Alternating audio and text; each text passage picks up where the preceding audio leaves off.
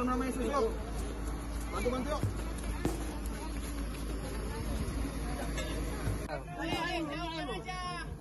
Putar,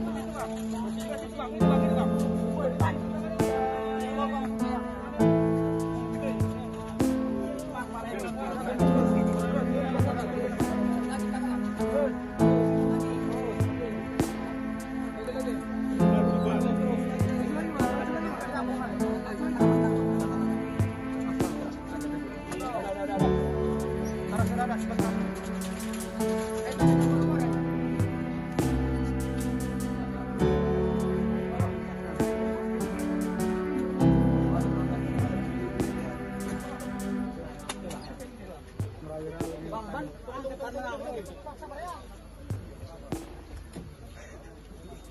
kali kami